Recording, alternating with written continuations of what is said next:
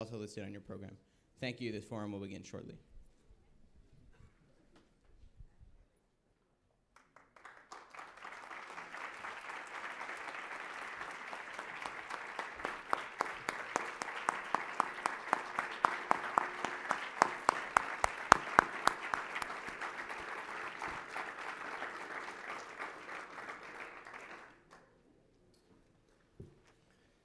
Good evening, everyone.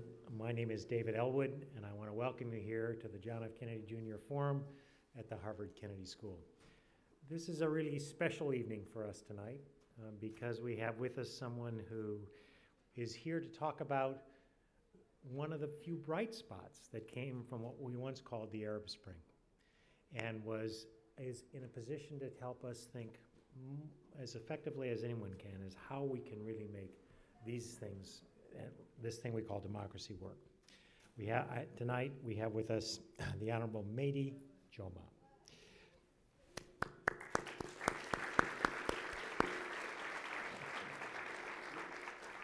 I'd like to acknowledge several distinguished guests uh, here in the audience. His Excellency's wife, Hala Jomaa, uh, right here.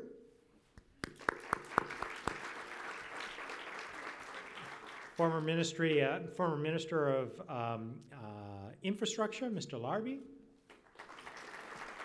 and the former minister of higher education, scientific research, and information and communication technologies, Dr. Jelassi.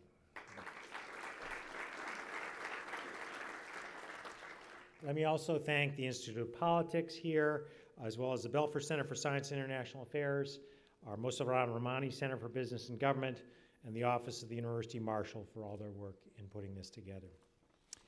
In 2011, um, when a street merchant uh, set himself afire in January of 2011, a remarkable set of events uh, began to transpire, starting in Tunisia but quickly spreading across North Africa and other places. Um, we saw a remarkable transformation. Governments began to fall, people uh, were desperately trying and seeking to have revolutions that would result in free elections and the like. But one by one, many of these things have not turned out quite the way the original organizers had hoped. Tunisia seems, uh, though fragile, a bright spot. And it's really fascinating to understand the story. Um, we can hear, we'll hear more about this, but it's not that in Tunisia things were always easy or went really well from the start. Um, this was a period when, yes, there were elections, but they were highly contested. Then there was two, assa several assassinations of leftist uh, uh, political leaders, and there were very many times. There was big. There were calls for a, a, a government uh, governed by Sharia law. So there were many times when this experiment felt like it could have gone the, the same way that some of the others have. Um, but a variety of people came together and began to think about ways to make it really work. In um, our speaker tonight in 2011 was uh, working in France, as he had been for most of 25 years, 24 years. He specialized, his, he was in the company, the Total Group, where he specialized in aeronautical systems and worked on several programs dealing in defense and aerospace. Yet, um, in, uh, he was called upon uh, in 2011 or 2012 to be the Minister of Industry. 2012. Um, after several uh, challenges periods, uh, 2013, I'm sorry, 2013.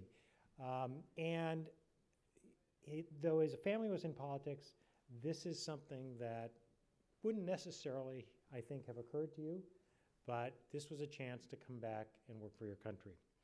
He became Minister of Industry, um, and he brought together a new energy strategy, uh, an increasing mix of renewable and high value added industrial policy.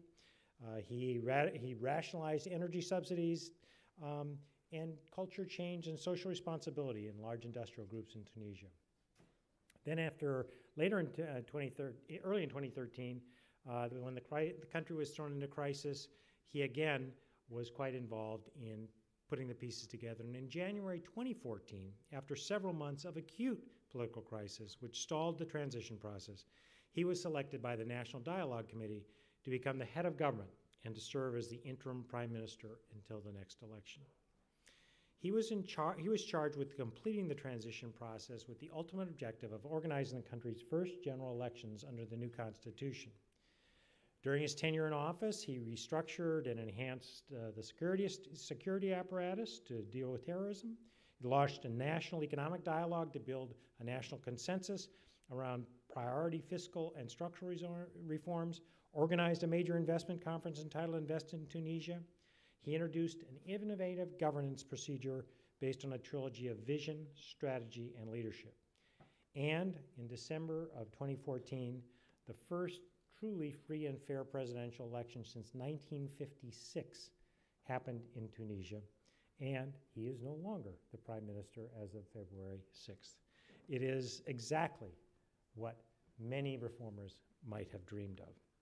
Not surprisingly, he's gotten the Tunisian Order of Republic, the German Order of Merit, um, and the Amadeus Man of the Year distinction from Morocco.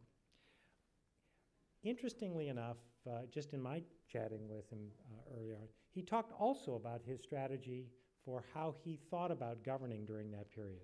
I hope you'll talk some about that, and if you don't, I will ask you a question or two because it's a fascinating and very uncommon strategy that uh, he proposed. So please join me in welcoming the Honorable Mehdi Jomaa.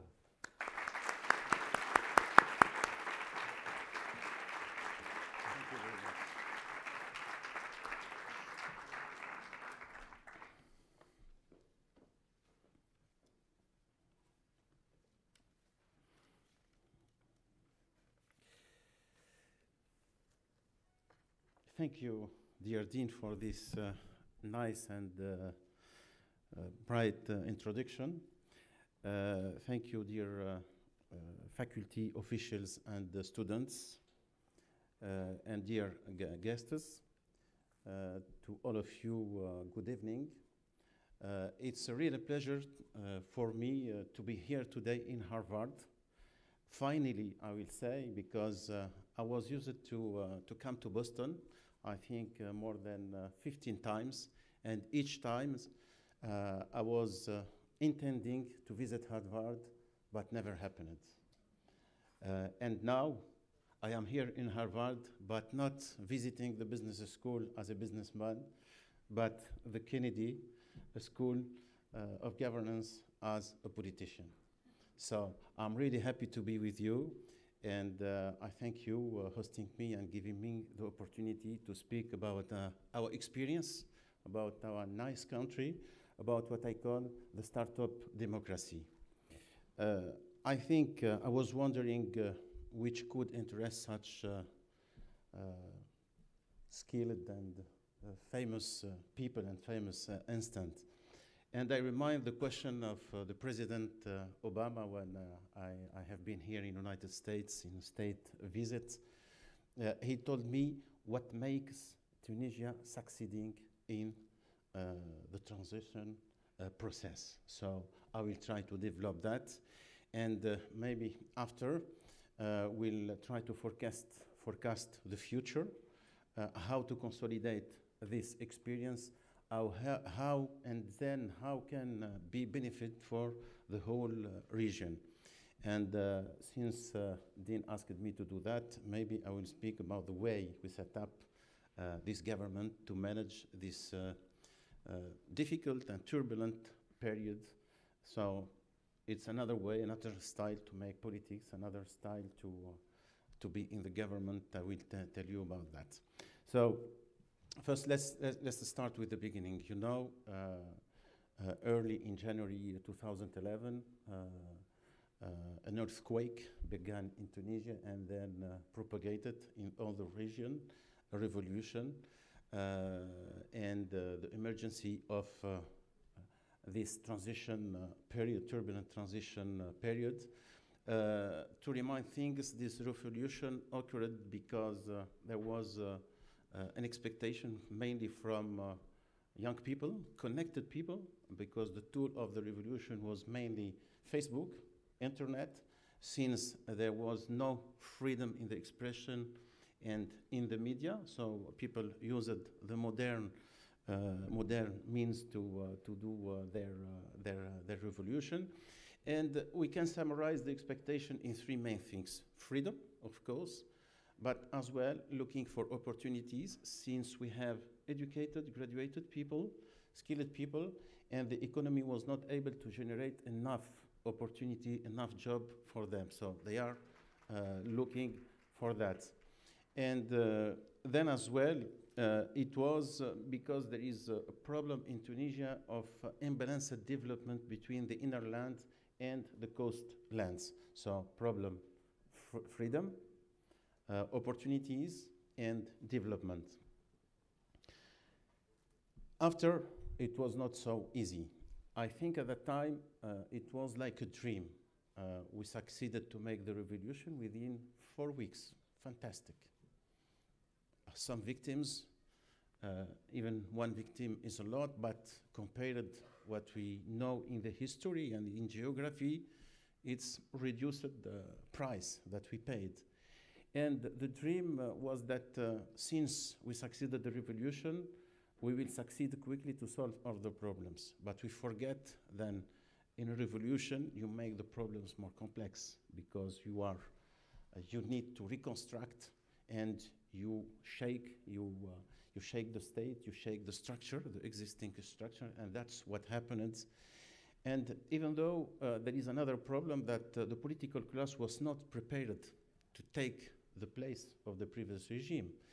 And uh, the only thing uh, where they, uh, where they prepared is the human rights exercise because they, are, they were in the opposition, they were, they were really struggling for human rights, but after when they came to the state, manage state is more complex. You need that, you need the human rights, but you need to manage, you need to check problems, you need social, you need economy, you need finance, you need all of that, and they, do, they did not have the opportunity to do. So it was a really complex, a lot of crisis, security crisis as well, since uh, there was uh, uh, a problem with the security staff. It was seen as the tool of the repression of the previous regime, and as well all what is happening, what happened in, uh, in the area uh, with the revolution in Libya uh, and in other countries, which has a big impact on the security in Tunisia. For the first time, we see the terrorism happening in Tunisia. We were not used with that. It's really strange for us, strange phenomena. Uh, it was linked with what happened, as, uh, happened uh, in, the, in the region. So, social protestation, political lack, political crisis, security crisis, a lot of things to solve uh, in the meantime. And you have the young people who made the revolution were expecting to solve the original problem, which is a job, jobless, and uh, opportunities and economic and uh, de- development. So that was the story. I think uh, you know uh, some uh, details, and let's say that uh, we all the uh, all the Tunisians were shocked by the first uh, political assassination, and then the second, and we consumed uh, I think four govern four government within three years. So it was uh, it was a lot, but it gives an idea about the instability that uh, we live, and. At that time, there was a big pressure on the political class to stop fighting and uh, to gather themselves, to stay around the table, and to lead a dialogue. It was done because we have a strong civil society, and among them, women, which are stronger again and really present, and they exerted a big pressure on the political class to say, Stop now, you have to find a solution to this issue. We did not make this revolution to get more trouble. We made this revolution to, to get progress. And uh, I think we made the progress through this approach, approach of dialogue, approach of compromise, but as well inclusive approach. All the different parties, whatever their ideology, whatever uh, they are coming from the right or from the left, they stayed around the table and they found a solution. And uh, we succeeded to uh, vote and to adopt a constitution. We are proud of this constitution. We can tell you that with you, with everywhere, with all the free people in the world, we are sharing the same value like freedom, freedom of belief, freedom of thinking, freedom of expression, all these nice values that all the people are sharing or intending to share, and we have it. We have a secular constitution today, which was agreed by all the parties, whatever their reference, even the religious reference, and that's the frame of all the political exercise and future in Tunisia today. And we don't see people, uh, we don't see their origin, we don't see their ideology. They are free to believe on what they want to free, but we see them through the respect of the constitution and of the law. And that's the most important thing happening in Tunisia. So, after the, there was the election to prepare, and uh, the dialogue pointed this government, I was in charge of this government with the main uh, priority, which is to lead uh, the last stage or the last step of this transition with successful, transparent, and fair uh, elections. And hopefully, we succeeded to do that. But to do that, it was important to offer the right environment. Political appeasement. We were living a big crisis, and we have to manage that. And we are supposed to be not political. But we were aware that that period was extremely political. So, but we brought our style, a new style to manage politics. And uh, when I hired uh, the ministers and uh, all the government uh, uh, government team, uh, there was a commitment not to belong to any party and to respect that till the end of the mission, and they did. And it was important because the first thing to, to do it was to keep the same distance from each party, and they are numbers, but a positive distance. I mean, not to break with them, but to be open to them, but without any uh, influence. And I think that we succeeded, and that's why we gave to the scene, to the landscape, we gave them the appeasement that we need. We checked as well the security problem, the terrorism, which were not uh, a tradition in our country, but with the lack of equipments. But we worked on the motivation and in the restore, restore, restoring the, the confidence, restoring the, the, the, the, the, the trust between the population and the security staff and the trust of the security staff themselves. And like in any group, the first thing is not the equipment but the motivation. And we restored the motivation and then we worked on the organization and coordination. And in that way, we gained the first, uh, uh, the first fight against the terrorism. And we can tell you that today Tunisia is safer. Uh, when we started, we are reacting to the threats. Now we are anticipating all their operation, all uh, their plans, and we have a good, a good success on that. What we have to do now is to protect, protect our house from the out, outside uh, threats coming from the region, and you know how trouble is the region. But I do believe uh, in the capability of the Tunisian state, of the Tunisian people, to uh, to uh, to do that, to succeed in that, because uh, the population now is on the side uh, of uh, the security side, fighting all together against this phenomena. They took advantage from the weakness of the state after the, the revolution uh, to recruit some of the people that they sent outside, to recruit some of the people. But now, uh, since we have uh, a good collaboration with the population, I think that's the best protection It's more important than helicopters and other means. We need equipments, but the most important is we need the support of the population, and that's we have. And we recover our tradition uh, of peace, of rejecting violence in Tunisia. And believe me, that's uh, inaugurated from 3,000 years of history in Tunisia of tolerance, openness, and uh, open, uh, open uh, mind.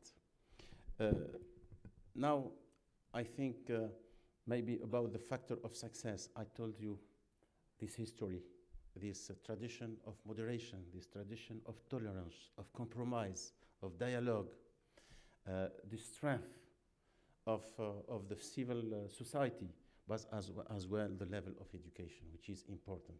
In Tunisia, we choose since the first year of independence to invest in education. Third of the budget was invested in education, and only few percent in military staff. That's the truth.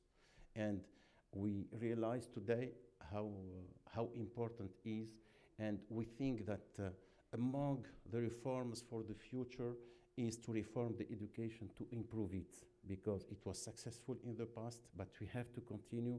That's the best way to protect our society and to put it on the track of, uh, of uh, the, the, the progress. Uh, I think that's the main, the main things that, uh, that, uh, that we have. I think we succeeded as well uh, in this transition because we have a clear commitment.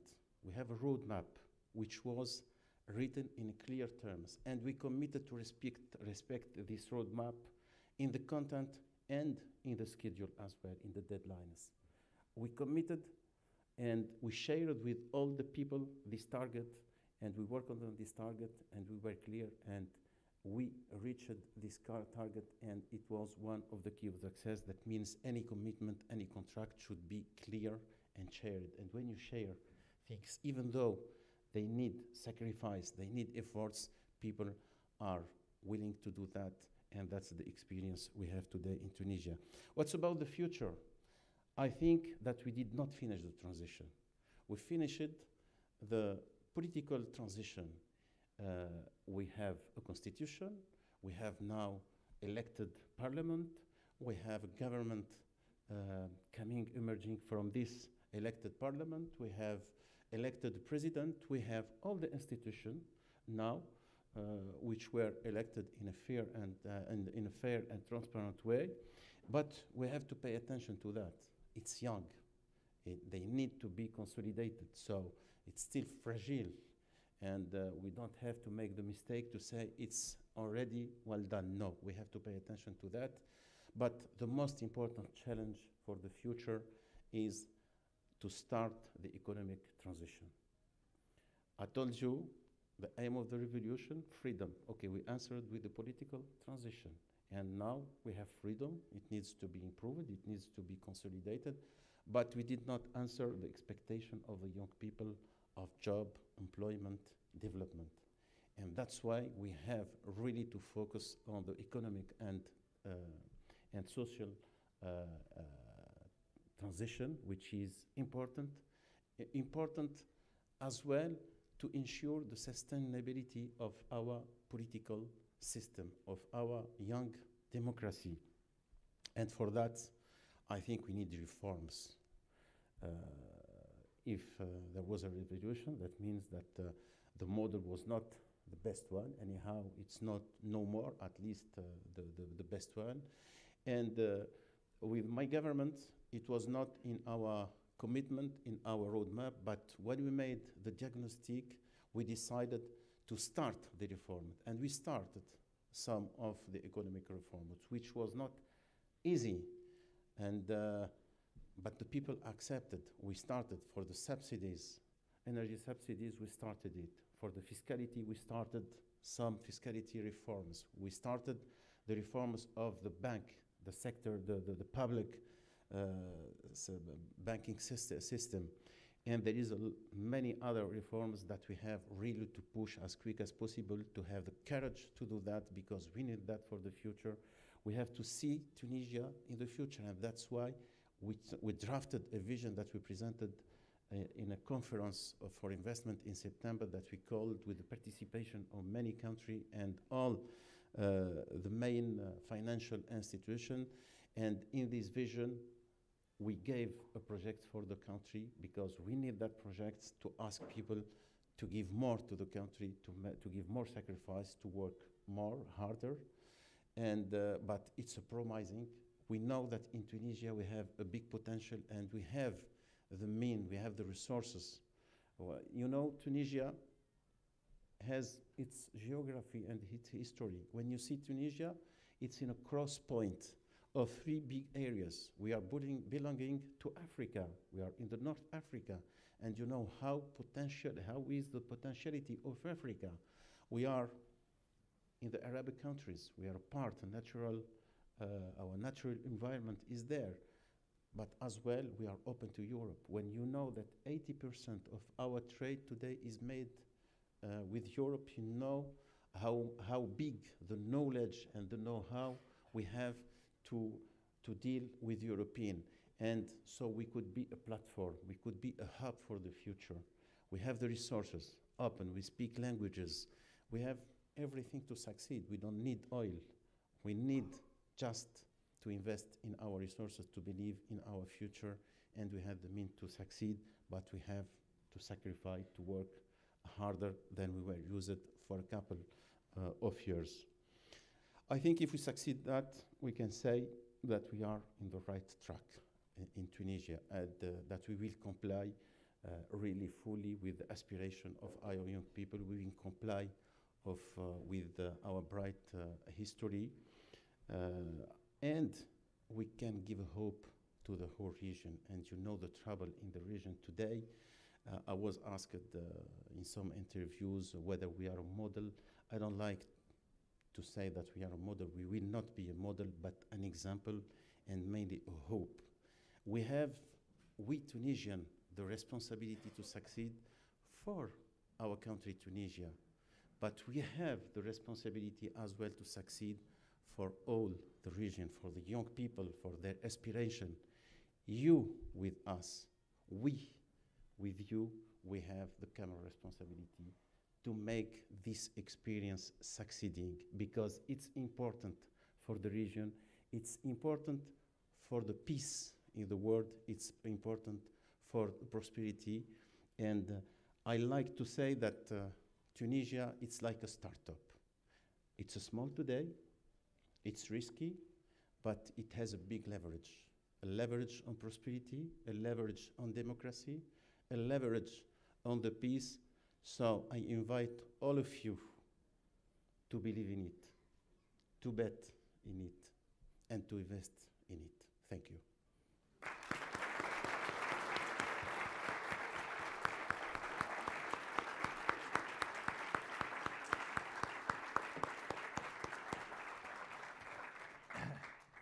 We now have time for questions. There are four microphones located, one here, one up here, one right here, and one right here. And I'd like to remind all those in our audience about what a good question looks like here at the Kennedy School. And that is you begin by identifying yourself, you keep it short, it has but one thought, and it ends with a question mark. Uh, so with that, uh, let me actually uh, ask you a quick question to begin with and then turn it over. Um, when you became prime minister, you'd run, you know, you'd been involved in aerospace, you'd done crisis management, and so forth. How did you select your cabinet? So I, I will tell you the story. When uh, we hire a prime minister in general, he's coming from uh, a party, he has a structure, he has a staff. I was selected, I was by my own in my flat. Even my family was living in Paris. And I was wondering how to do. So I started by the beginning. I put a strategy and criteria to select them.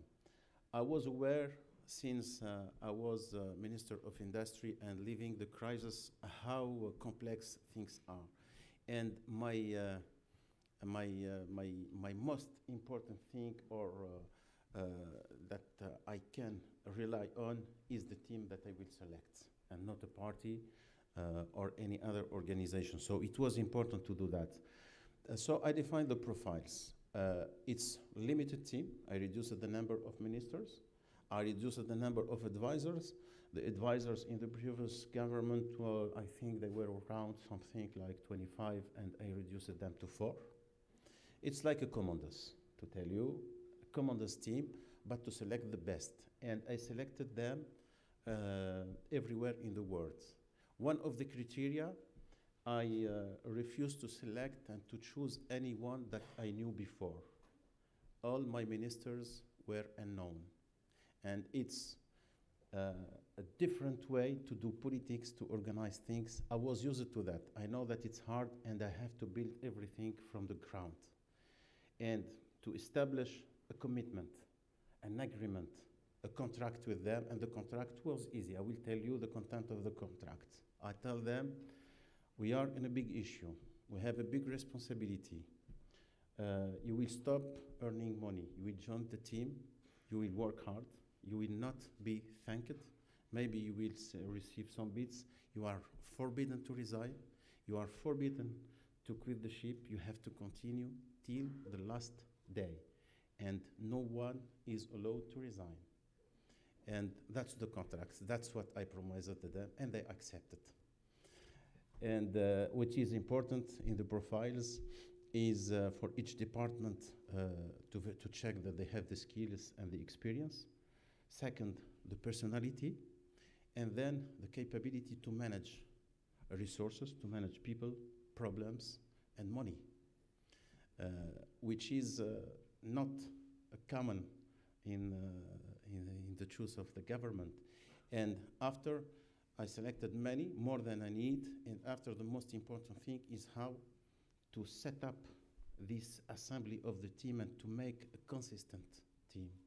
Because I know that's my square where I have to, to, to, to, to, to be strong and to face all the problems. So it's objective things, and I, uh, as well, I selected people who can resist to crisis because I was aware that it's a chain uh, of, uh, of crisis that we will uh, encounter.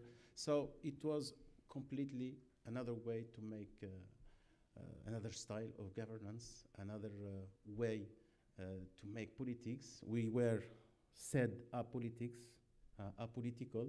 We were not politicians, but uh, let's say that we made politics in a different way. Great, thank you. Right here. Thank you, Prime Minister Jomaa. My name is Daniel. I'm a first year student here at the Kennedy School. Uh, my question is this What was it that set Tunisia apart from the other failed revolutions, like in Libya or in Egypt, that Tunisia was able to discover democracy and a secular government? I, think the main factor is the history of Tunisia. So maybe I forget something which is important. Uh, in Tunisia, we have, uh, we have the, the tradition of uh, law and state. Uh, you know that the first draft of co- co- constitution goes back to 80, uh, 1852. So it's not new. Uh, and the second thing, we have uh, uh, a strong notion of, of the state. And even during the revolution, we did not break the state, we shaked it, but we, we, we break the regime and kept the state. I think that these two major things are important, and that's our refuge. The law we have, we are used with law, we are used with constitution. It was like, uh, let's say, an incremental improvement, and uh, the, the, the notion of the state was very strong with Tunisian. Besides all what I said, the, soci- soci- uh, the civil society, they uh, are willing to, uh, the, to the compromise, to the discussion, to the dialogue, uh, the women, the education. Uh, and I think we found, we share with all uh, our neighbors some of that, uh, that uh, values, that uh, specificity, but in the meantime, we have our own as well. Thank you very much. Right up here. Uh, Jay Gleason. Um, Tunisia has had close relations with Palestine for many decades. Uh, the last two presidents, Ghannouchi and Marzouki, uh, had very cordial relations with the democratically elected government of Hamas, but the new president seems to be much more critical of the Islamists. Uh, what do you feel will be the relation uh, in the near future of Tunisia with uh, Palestine, the divided Palestinian leadership? And also, what do you think the international community should be doing in the face of the rapid expansion of the settlements in the occupied territories?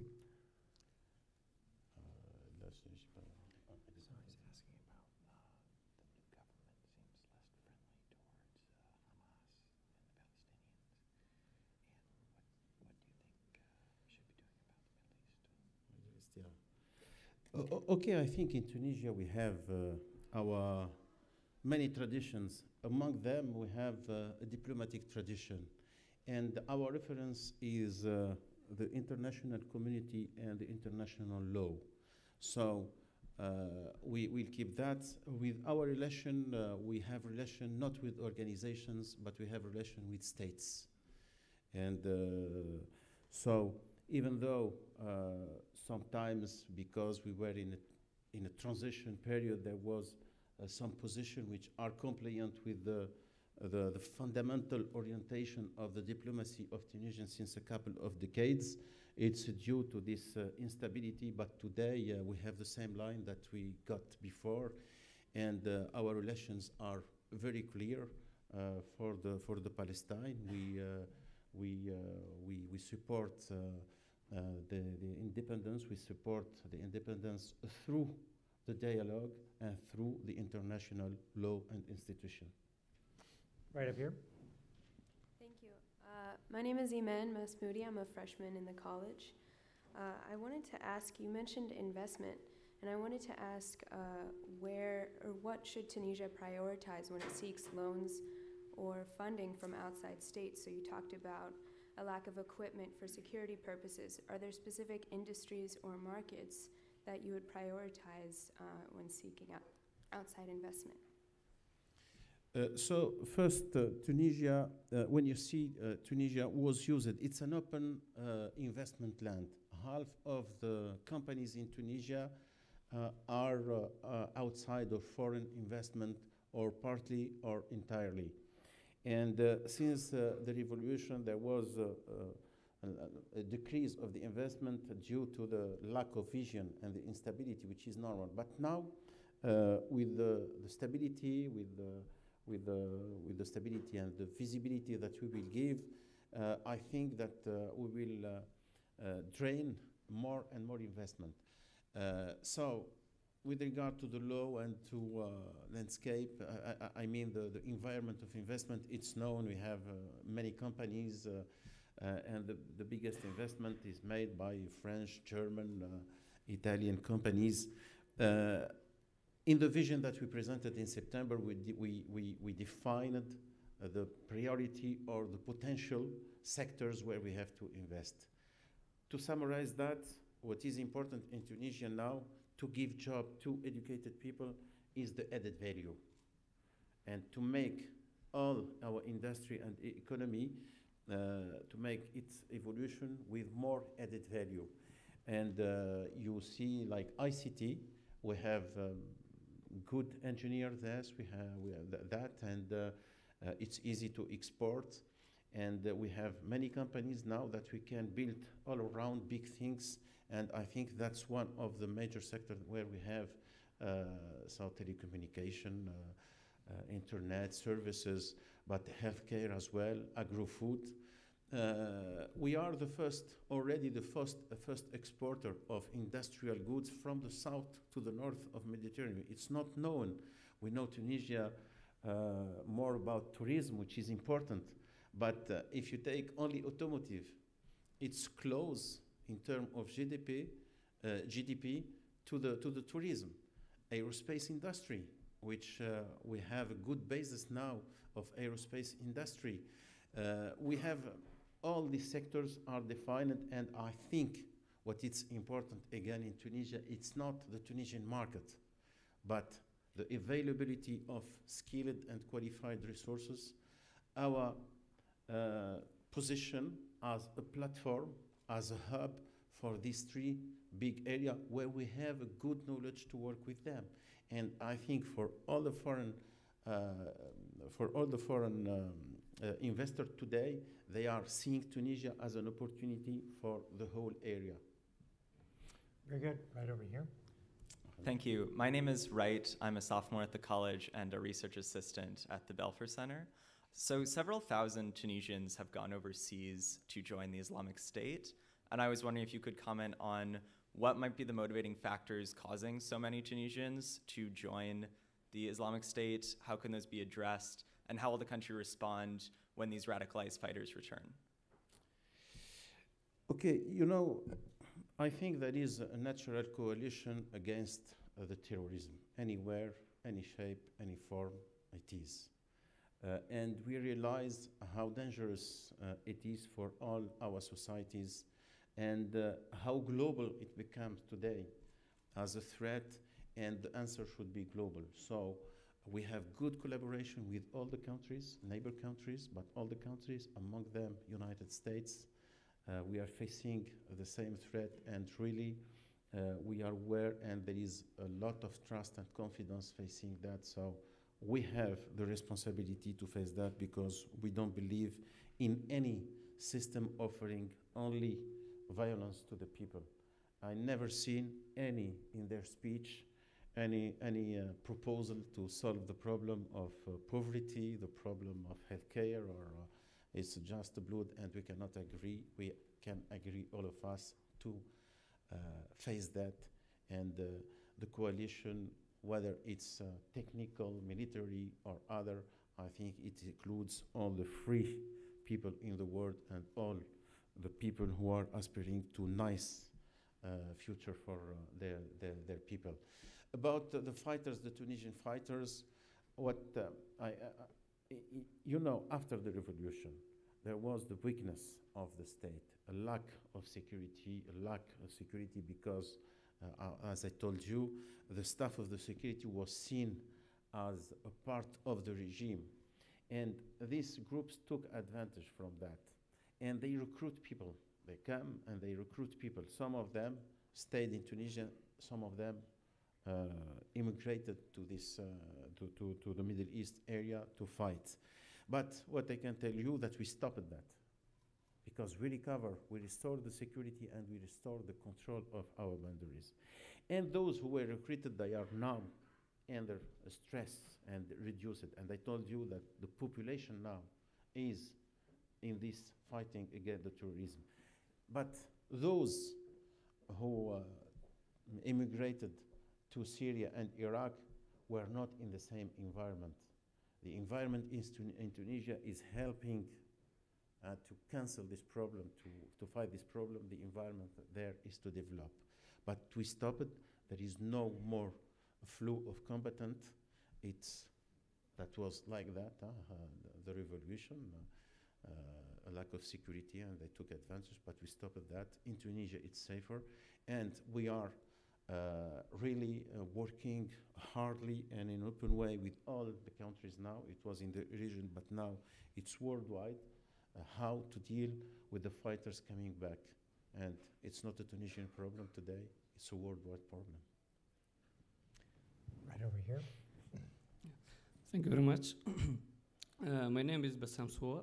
I'm a Tunisian, and I'm here for a short program in Kennedy uh, School of Government. Uh, so uh, my question is to, uh, first of all, I, I, would like to admit that you came in a, a critical uh, situation where the country was in a difficult situation, and your job is to manage the, the country uh, in a crisis. And I think you did well, and based on the priorities you, you set, I mean, mainly the security and the, the, the, the transition, the peaceful transition. But now I think we need to think about the future, the way forward. And I want to take two keywords that you mentioned in your presentation, in your speech. Uh, you mentioned reform, I think two or three times, and also you mentioned education. And I think, I think this is the way forward. But my concern is that probably some people may say that maybe the current political situation in the country maybe doesn't allow to go for such kind of reforms.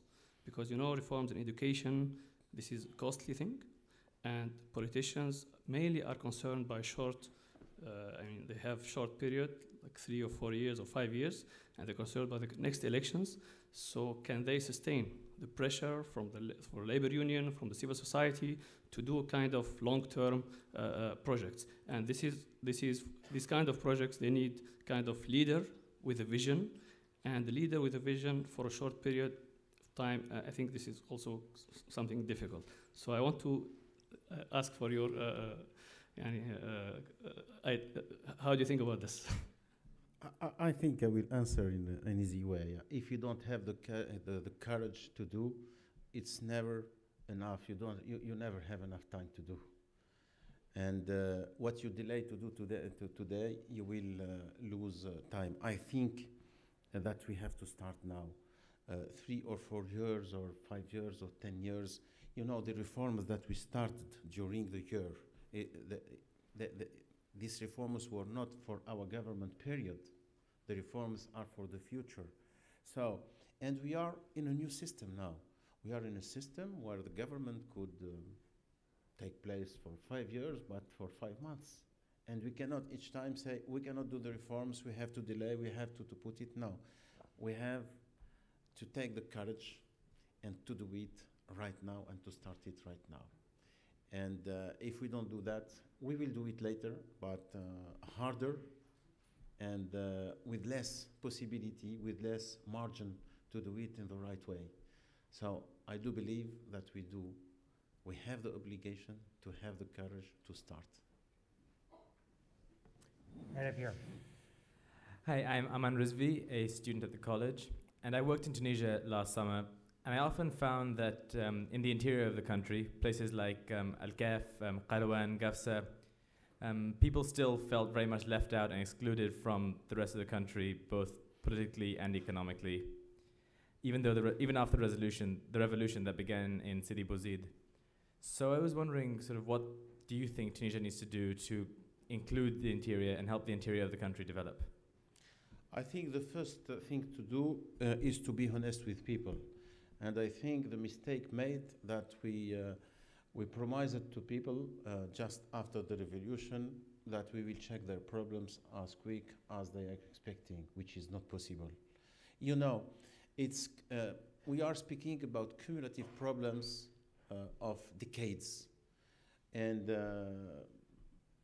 whatever we made the revolution or not, you cannot solve these problems within a couple of months. So we have to be clear with the people, to explain to them what we want to do, to give them a project, to give them a vision for the future, and to give them the right scale time. Uh, and uh, you know, uh, you, you, we, are speaking about uh, the difference between the inland and the coast.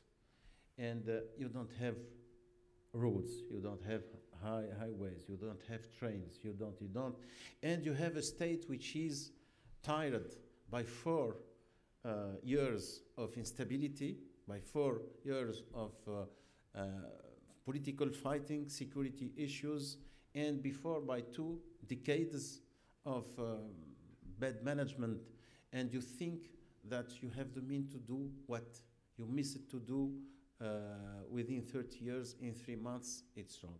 So that's why we have to start the reforms. We have to give a vision and a project to the country to explain to the people and to give them the right scale. Okay, we have to help them, and I, we have the responsibility to help them socially, but uh, we, we are not honest if we can tell them that next year you will have factories, uh, roads, and trains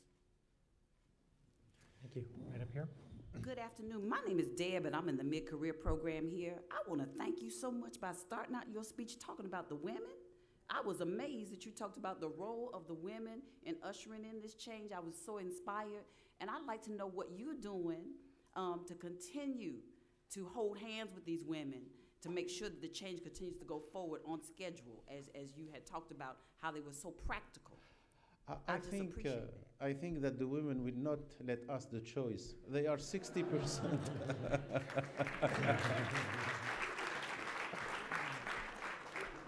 when you know that they are sixty percent now of the student at the university, how you can imagine the future of the men? I think no, no. R- really, it's uh, it's again in the tradition of the Tunisian society. And we got the chance after the independence to, uh, with the president uh, Bourguiba, to make something which is uh, a real revolution, is to, to, to put as an obligation the education of all the children, women, and uh, I mean girls and, uh, and uh, boys. And now, when you see the situation of them, they are everywhere in the, all the activities.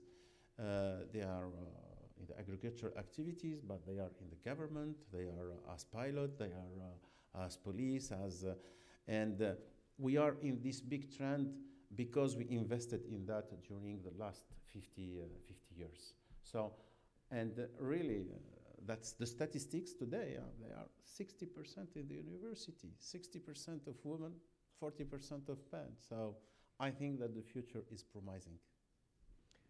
Right here. Hi, my name is Mitchell Alva. I'm a master's student here at the Kennedy School. You spoke a lot about desperately needed economic reforms in the banking sector, energy subsidies, but I want to ask you about the informal economy. Um, by some estimates, informal economy comprises 30 to 35 to 40 percent of Tunisia's GDP output, and these are activities that take place outside the scope of the legal structure. Muhammad Bouazizi was a street ven- a fruit vendor, street vendor. He was an informal sector worker. What reforms are necessary to extend social protections, raise wages for these low wage workers that comprise such a large portion of Tunisia's economy and are so central to the aspirations of the revolution? Yeah, I think it's an important thing. So there is two kind of formal economy. Uh, there is the formal economy when you speak about Bouazizi, and that's a small, uh, small jobs and uh, and formal. And uh, I think with the progress and when the state and the government has the mean, we have to enlarge the protection, and we have some programs for that to include some people uh, with the social protection. We have now, they have all of them. They have healthcare protection all of them, whatever. And I think with the progress, we can uh, enlarge uh, the, the, the, the, the coverage. But there is the other, which is uh, like, uh, for me, criminal, uh, a criminal uh, parallel e- economy, which grow, grows a lot after the revolution, since this lack of security, since this lack of control of the borders. And we started, and we started really uh, um, pushing that. Uh, we started. Uh, it, it will be. It will take some time because you cannot check and solve the issues uh, in one day.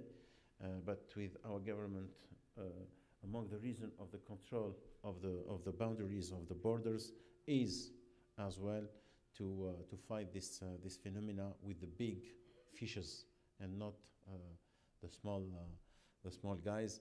I think we have to to emphasis on that, and for the others, it depends on the growth we will have in the economy and the means of the state.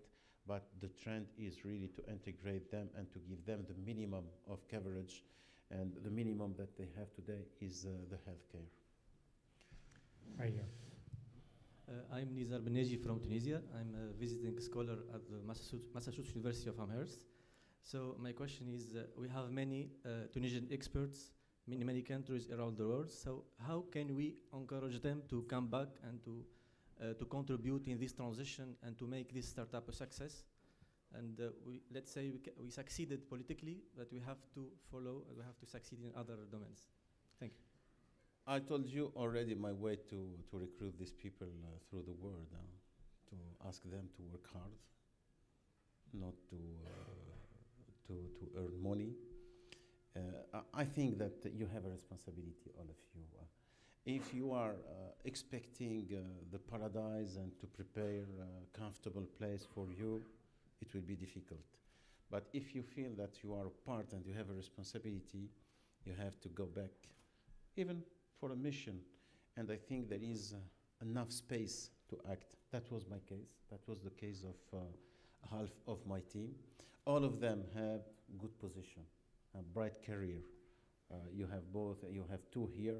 One he was teaching uh, uh, in uh, and managing uh, doyen, how to say, um, in, in, in a famous school in Paris, teaching in United States. When I called him, he was in United States. The second was living uh, in Washington, working for the World Bank.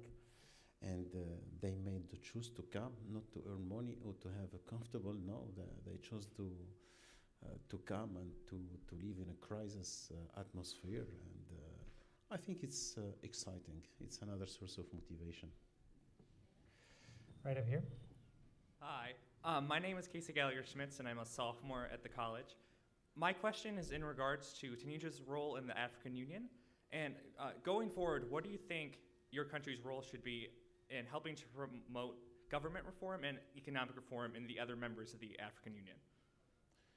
We are so far from the African Union or any union, and I don't believe that it's uh, a political decision to do that. Um, uh, when you see uh, how unions are built, I think that if each component of this uh, uh, space uh, work to progress in the reforms, in the democracy, it will be a natural way to, to have more common interest, uh, more interferences, and it will be built step by step by naturally.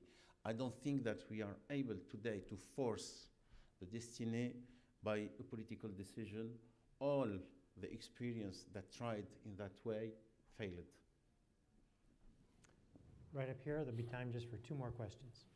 Hi, uh, my name is Laura Thompson. I'm a doctoral student here. Um, and I've been studying Tunisia for a very long time, so it's a great pleasure to be able to hear you speak. Um, I wanted to ask specifically about the um, notion of freedom of religion that you, as you mentioned, is guaranteed by the Constitution. Um, and I'm particularly interested in the uh, the great number, the unprecedented number of cases in the post-Arab Spring moment of Tunisians who were uh, prosecuted um, for public order offenses uh, for attacking the sacred. Um, so specifically, we have, for example, the very famous case of the Mahdiya atheist. Um, the Mahdiya atheist. Um, Ghazi Beji and Jabir Mejri. Les athées oh, Qu'est-ce qu'il y a Les athées de Mahdiya. So these. No, I, I, would prefer that you said, said me that before I leave the government because, ah? Ah, blogueur athée? Ah, yeah, yeah, yeah, yeah. Okay, okay. So I'm especially interested then in thinking about what this means for the guarantee of freedom of religion. Is this a, a different type of conception of freedom of religion, or was this just perhaps um, a blip or an exception um, that you don't imagine will be seen again? No, really, I believe that it's an exception, and uh, you cannot uh, find uh, many other examples. And it's uh, it's normal, you know.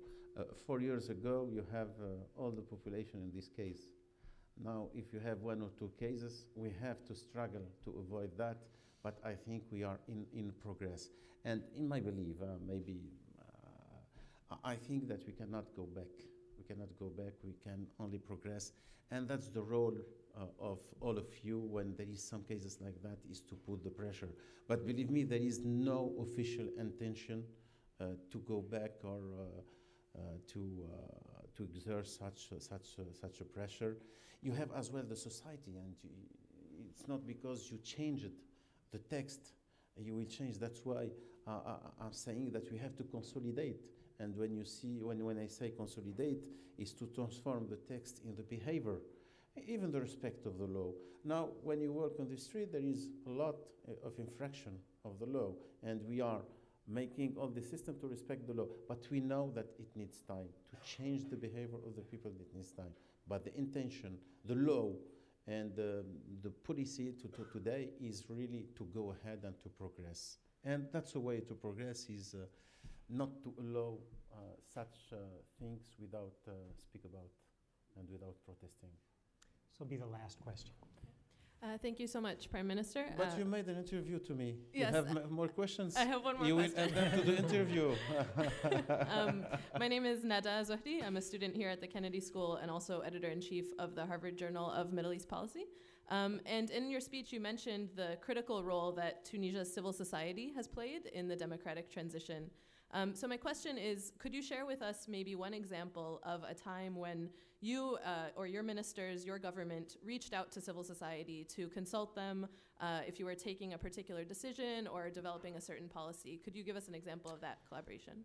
So when we when we speak about uh, civil society, among them you have the union, you have uh, the boss organization, uh, you have the lawyers, you have uh, And uh, during uh, during our exercise, we were uh, we have a daily contact with them on all the problems, and uh, even for economy.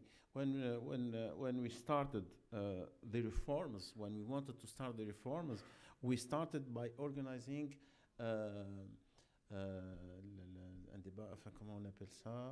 Le dialogue national, a, a- a- a national dialogue about the economy, and we made even the civil society participating to that. We listened to them, we knew all their position, all their proposal, then we took our decision.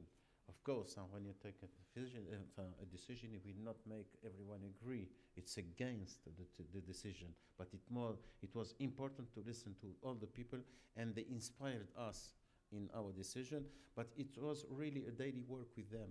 Uh, because it's the interest as well. If you want to push in one direction, it's better to have uh, these people with you to convince them between starting than after to get them in the resistance. Mehdi Jomaa, thank you so very much. Thank you.